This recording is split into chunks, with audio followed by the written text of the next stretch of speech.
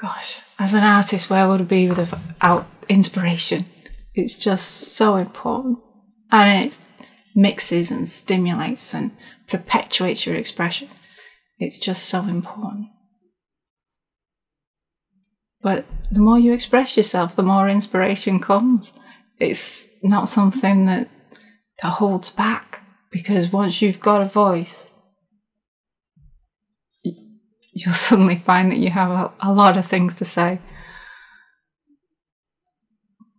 The book talks about the sources of my inspiration and where it comes from.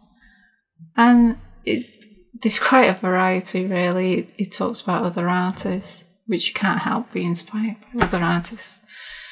I mean, if you're looking at the work of Michelangelo and Kandinsky and Franz Marc, and it's it's exciting. It's exciting.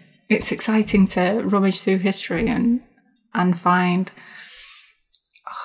and find so much wonder. I mean, what an amazing time to be alive as an artist because you've got such you've got inspiration everywhere, absolutely everywhere.